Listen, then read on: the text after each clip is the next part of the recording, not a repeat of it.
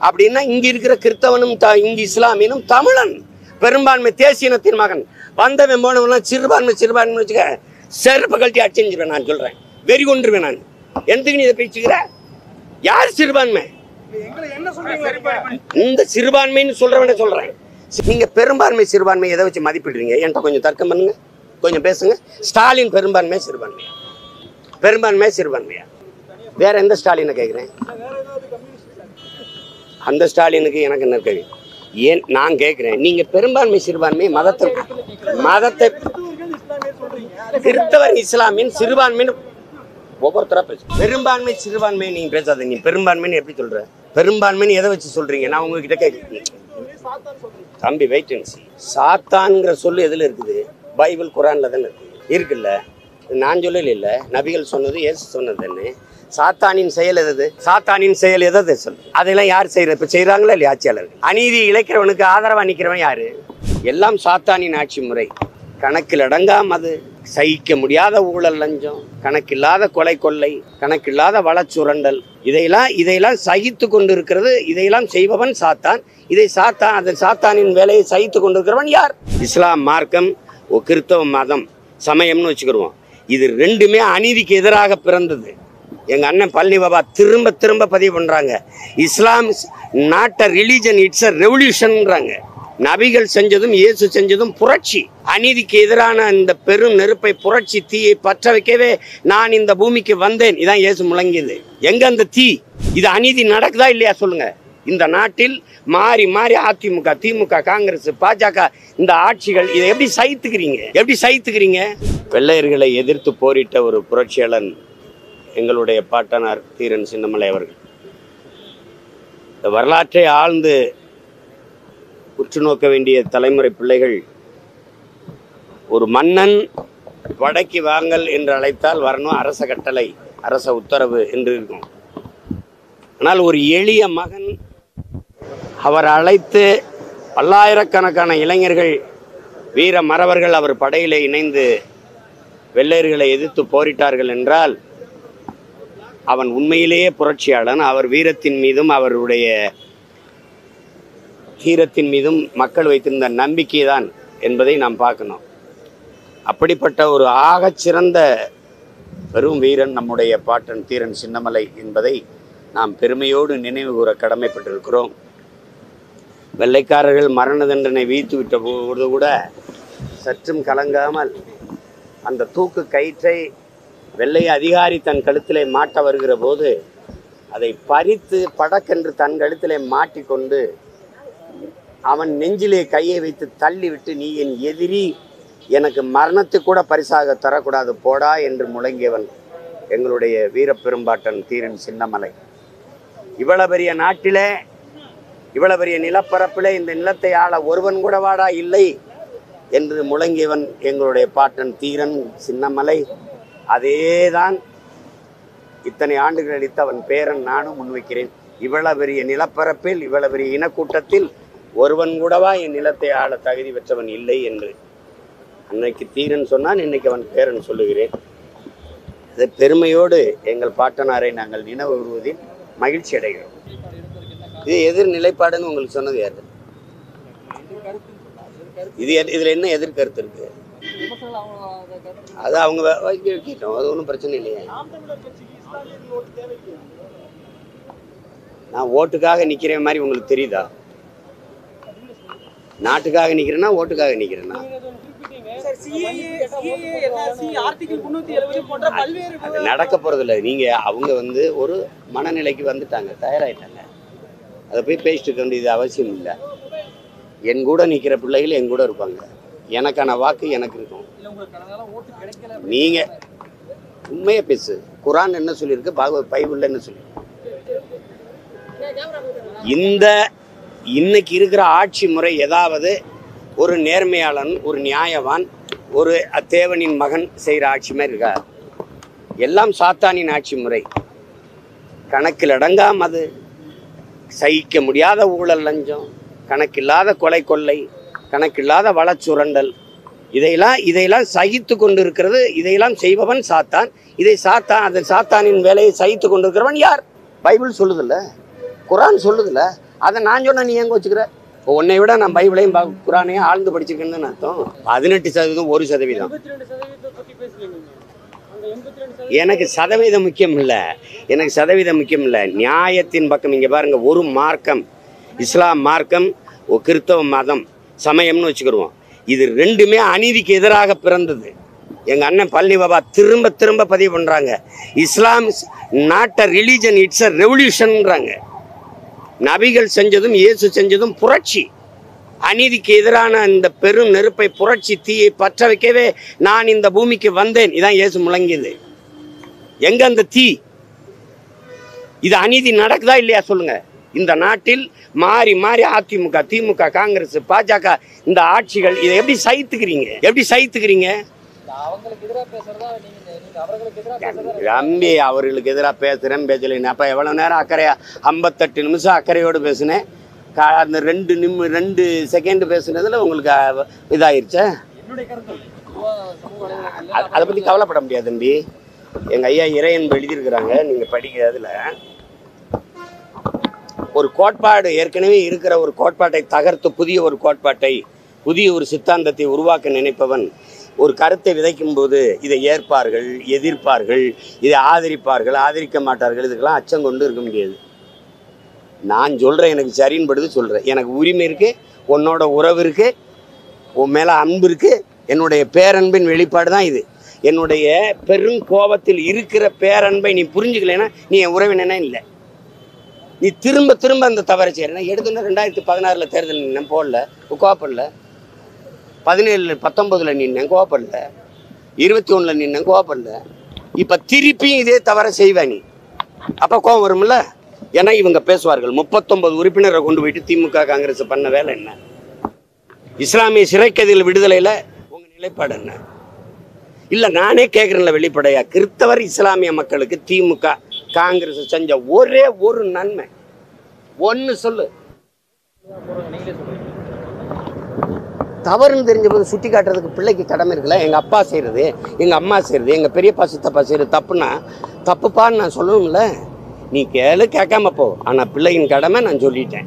அதுக்கு மேலே ஓவம் இருக்கும். பெரும்பான்மை இஸ்லாமிய நீங்க சிறுபான்மை நீங்கள் பேசாத நீ பெரும்பான்மைன்னு எப்படி சொல்கிற பெரும்பான்மைன்னு எதை வச்சு சொல்கிறீங்க நான் உங்ககிட்ட கேட்குறேன் தம்பி வெயிட்டன்சி அண்ட் சாத்தான்ங்கிற சொல்லு எதில் இருக்குது? பைபிள் குரானில் தானே இருக்குது இருக்குல்ல? நான் சொல்லல இல்லை. நபிகள் சொன்னது ஏசு சொன்னது தானே. சாத்தானின் செயல் எதது? சாத்தானின் செயல் எதை சொல்லு.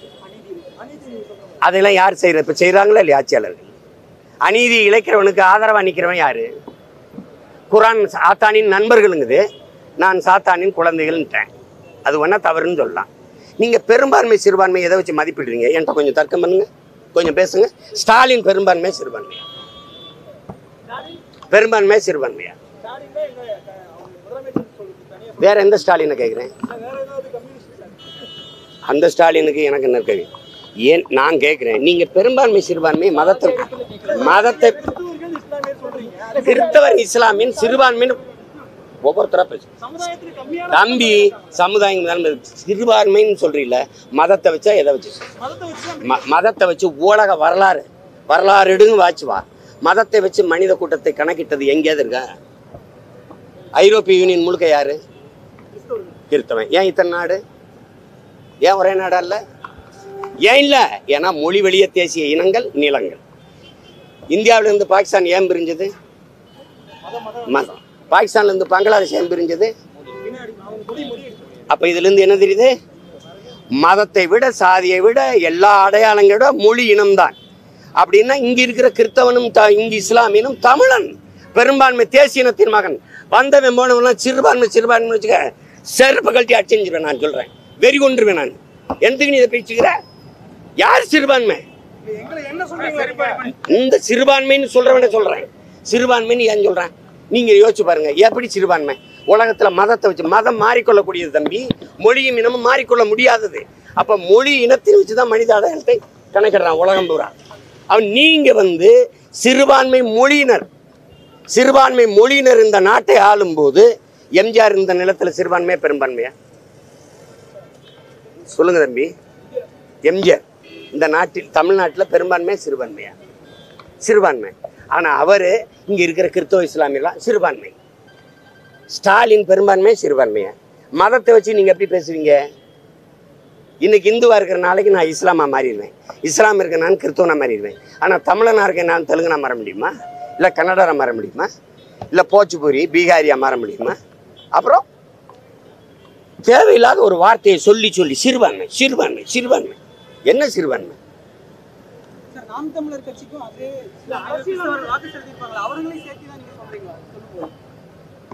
அநீதிக்கு துணை நிற்கிறவங்கள தான் பேசுகிறேன் மொத்தமாக இஸ்லாமிய கிறிஸ்தவ மக்களை சொல்லலை. நீங்கள் சாத்தானின் குழந்தைகள்னு நான் சொல்லலை. சாத்தானின் குழந்தைகளாக ஆயிட்டீங்களேன்னு ஆதங்கப்படுறேன். ஏன்னா அநீதிக்கு தொடர்ச்சியாக துணை நிற்கிறீங்க எனக்கு நீங்கள் பதில் சொல்ல வேணாம். ஆனால் இறுதி நாளில் ஏக இறைவனுக்கு நீங்கள் சொல்லியே தீரணும். சொல்லியே தீரணும் எனக்கு வாக்கு செலுத்துகிறவர்கள் செலுத்தாதவர்கள் அவர்களை பற்றி பேச்சு கிடையாது மொத்தமாக நான் சொல்லலை. நீ எதற்காக என் இனத்தை கொன்னு குவிச்ச காங்கிரஸுக்கு இன்னும் இந்த நிலத்தில் அரசியல் அதிகாரத்தை கொடுக்கறது எவ்வளோ பெரிய ஆபத்தானது?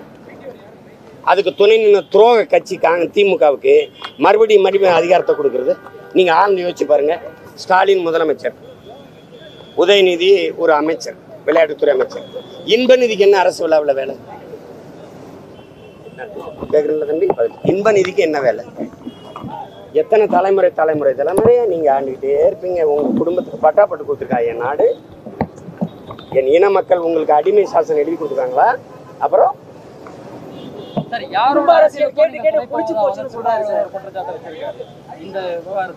யாரோட அரசியலுக்கும் இல்லை. நான் ஏற்றுக்கொண்ட ஒரே தலைவன் என் தலைவன் மேதகவி பிரபாகரனுடைய அரசியலுக்கு நான் துணை நிற்கிறேன். என்னோட அரசியலுக்காக நான் நிற்கிறேன். இதில் யாரோட அரசியல் இருக்குது ஐம்பத்தெட்டு நிமிஷம் பேசியிருக்கேன். அதில் பாரதிய ஜனதாவையோ ஆர்எஸ்எஸ்ஸையோ நான் பேசியிருக்க கேள்வி கேள்விகள் பேசியிருக்க பேச்ச ஒரு தடவை கேளுங்களேன். ஒரு குற்றச்சாட்டு இருக்கிறார். கடந்த சில வருடங்களுக்கு முன்னாடி அரசியல் சாசனம் வெளியிட்டதுல இஸ்லாமியர்களுக்கு எதிராக இருந்தது. அதை எதிர்க்கும் போது நீங்க அதை மாத்திட்டீங்க. கடந்த வருடம் கூட தமிழர்கள் எல்லாம் தாய் மதத்துக்கு மாறணும்னு சொல்லியிருந்தாரு. தொடர்ச்சியா இஸ்லாமியர்கள் கிறிஸ்தவர்களுக்கு எதிராக பேசிட்டு வர்றான்னு ஒரு குற்றச்சாட்டு தாய் மதம்ங்கிறது இஸ்லாமிய கிறிஸ்தவரெல்லாம் வாங்கன்னு சொல்ல பொதுவான ஒரு கோரிக்கை. என்னுடைய என்னுடைய சமயம் இது. என்னுடைய சைமம் சமயம் வந்து சைவம் வைணவம். நாங்கள் அதுக்குள்ளே தான் இருந்தோம். அஸ்பர்லான்னு நீங்கள் வில்லியம் ஜோன்ஸ் கையெழுத்து போட வர நான் இந்து இல்லை இல்லை. இல்லை இல்லை.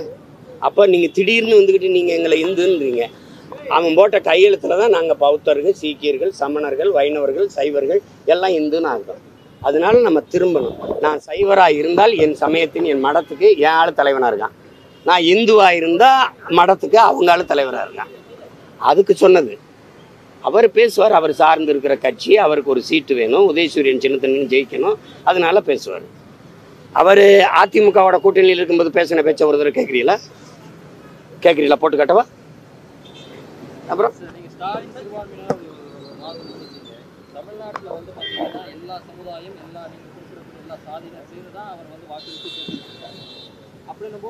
வாக்கை வாக்கை உங்களுடைய சேவையின் மூலமாக பெற்றீர்களா? பணத்தை கொடுத்து வாங்கினீர்களா?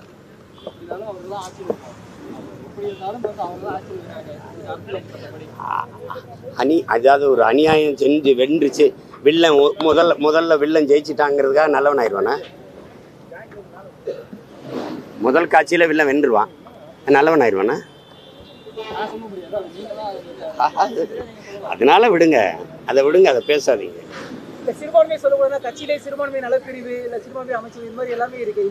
அதை நான் சிறுபான்மை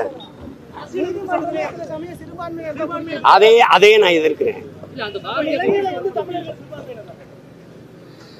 இலங்கையில் தமிழர்கள் இ- தமிழர்கள் சிறுபான்மைன்னு எப்படி சொல்கிறீங்க நீங்கள்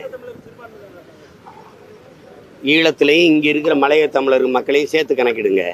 எங்களை பதினஞ்சு லட்சம் பேரை லால்பூர் சாஸ்திரி சினிமா சாஸ்திரி ஒப்பந்தத்தில் ஒரே ராத்திரியில் இறக்கி விட்டோமே அவன்.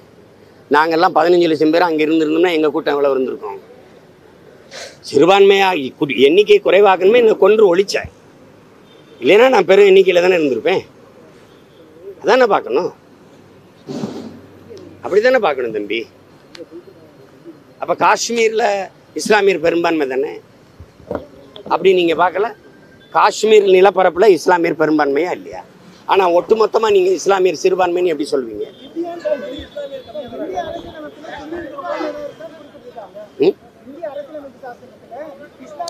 அதுவே தவறுன்ற அதுவே தவறுன்ற மதத்தின் அடிப்படையில் மனிதத்தை மனிதனுடைய எண்ணிக்கை கணக்கிடுவதே தவறு. மதம் மாறிக்கொள்ளக்கூடியது மொழி இன்னும் மாறிக்கொள்ள முடியாது. நேத்து என் தம்பி யுவன் சங்கர் ராஜா யார்? இன்னைக்கு யார்? நேத்து என் அன்பு சகோதரன் ஏஆர் ரஹ்மான் யார்? திலீப் இன்னைக்கு யார்? ஏஆர் ரஹ்மான் நேத்து பெரும்பான்மை இன்னைக்கு சிறுபான்மையா? இதெல்லாம் கேவலமல்ல உங்களுக்கு.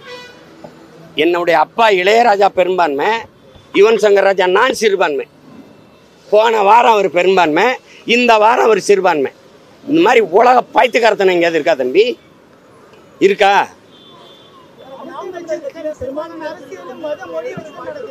சிறுபான்மை பிரி சிறுபான்மை பிரிவினே ஒன்று கிடையாது தம்பி. என் கட்சியில் கிடையாது. எங்களுக்கு தமிழர்கள்.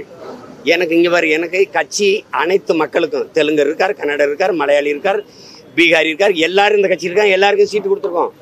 சிங்குக்கு கூட கொடுத்துருக்கோம். ஆமாம் கொடுத்துருக்கோம்.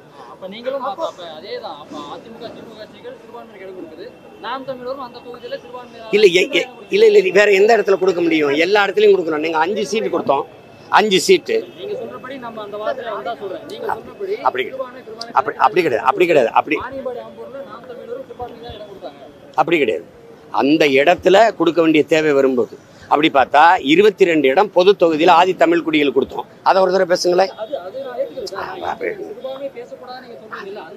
அது பேச பேசக்கூடாது பேசக்கூடாது. ஏன்னு கேட்டீங்கன்னா ஏன்னு கேட்டிங்கன்னா அந்த இடத்துல இஸ்லாமிய பிள்ளைக்கு கொடுக்க வேண்டிய தேவை வருது. சில இடத்துல நீங்கள் தொடர்ச்சியாக செய்கிறீங்க அதிமுக சொல்ல அதிமுகவில் தலித் எழில்மலையை கொண்டு திருச்சியில் நிறுத்தி அம்மையார் ஜெயலலிதா வென்றாங்க. ஆனால் திமுக நீங்கள் ஆ அண்ணா ஆராஜாவை பெரம்பூர்ல இருந்து தூக்கி கொண்டு நீலகிரியில் நிறுத்தினீங்க. தம்பி நான் உங்ககிட்ட தான் பேசிட்டேன் சார் இப்போ மதவா மதவாத அஹ், மக்கள் தொகை கணக்கெடுப்பு வந்து நீங்க எதிர்க்கிறேன்னு சொல்றீங்க ஜாதி வாரி கணக்கெடுப்பை நீங்க ஆதரிக்கிறீங்க இல்லை குடிவாரி கணக்கெடுப்புங்கிறது இப்போ ரிசர்வேஷன் கோட்டான்னு இருக்குல்ல இடஒதுக்கீடுன்னு ஒன்று இருக்குல்ல அது எதன் அடிப்படையில் வருது அப்படின்னா எந்த சாதிய தீண்டாமையை வைத்து எனக்கு கல்வி வேலைவாய்ப்பு அரசியல் அதிகாரம் மறுக்கப்பட்டதோ அதன் அடிப்படையிலே திருப்பி கிடைக்க வேணுங்கிறதுக்காக கொண்டு வரப்பட்டது அது. அது பல முறை பாராளுமன்றத்தில் புரட்சியாளர் அம்பேத்கர் பேசி தர்க்கம் செஞ்சு எல்லாரும் ஏற்றுக்கொண்டு அதை கொண்டு வந்தாங்க. அப்போ அதனால எல்லாருக்கும் எல்லாம் கிடைக்க வேண்டும் என்று கருதினால் நீங்கள் குடிவாரி கணக்கெடுப்பு எடுக்கணும். நம் திரும்ப திரும்ப சொல்கிறது ஐம்பது பேர் இருக்கிற வீட்டுக்கு ஐநூறு பேர் சாப்பாடு அனுப்பாதீங்க. ஐநூறு பேர் இருக்கிற வீட்டுக்கு ஐம்பது பேருக்கான சாப்பாடு அனுப்பாதீங்க. இது சமூக நீதியாக இருக்காது அநீதியாக இருக்கும். ஐநூறு பேருக்கு ஐநூறு பேர் சாப்பாடு ஐம்பது பேருக்கு ஐம்பது பேர் சாப்பாடு அஞ்சு பேருக்கு அஞ்சு பேர் சாப்பாடை கொடுங்க. எல்லாருக்கும் உணவு கிடைச்சிடும் இதுதான் இது சமூக நீதி. அதை செய்ய உதாரணம் உதவாது உதவாது உதவ- உதவாது உதவாது தம்பி அப்படி பேசாதீங்க. எல்லாருக்கும் எல்லாம் கிடைத்திட்டால் சாதியம் பேச வேண்டிய அவசியமே இல்லாமல் ஒழிஞ்சிடும் நீங்கள் கொடுக்கல இல்ல. நான் சொல்கிற முறை நான் சொல்கிற முறையை நீங்கள் எடுத்தீங்களா? நீங்கள் நான் கோனாரு எனக்கு என்ன கொடுத்துருக்கீங்க நாட்டிலே ரெண்டு சீட்டு. ஆனால் ஸ்டாலின் வீட்டிலே ரெண்டு மினிஸ்டர் நான் நாட்டிலே ரெண்டு அமைச்சர். அப்போ எனக்கு என்ன இடஒதுக்கீடு இருக்கு? இப்போ நான் என் எண்ணிக்கை என்னன்னு என்ன சொல்கிறேன் நான் கல்லர் மரவர் அகமுடையர் தேவர்னு போட்டு முக்குளத்தோர்னு போட்டு மூணு அமைச்சர். நீ தேவர் இல்லை கல்லறை தனியாக எண்ணு மரவரை தனியாக எண்ணு அகமுடையரை தனியாக எண்ணுன்ற. எங்கள் ஐயா கேட்குறாங்கல்ல வன்னியர் நாங்கள் ரெண்டு கோடி ரெண்டு கோடினா எண்ணு. எண்ணிட்டு அவரே சொல்கிறாரு எண்ணிட்டு இல்லை ஐயா நீங்கள் ஒன்றரை ரெண்டு கோடிங்கிறீங்க இல்லை ஒன்றரை கோடி தான் இருக்காங்கன்னு. ஒன்றரை கோடிக்கு உரிய அனுப்பு. அவ்வளோதானே நான் ஏங்க வச்சுக்கிற போகிறேன்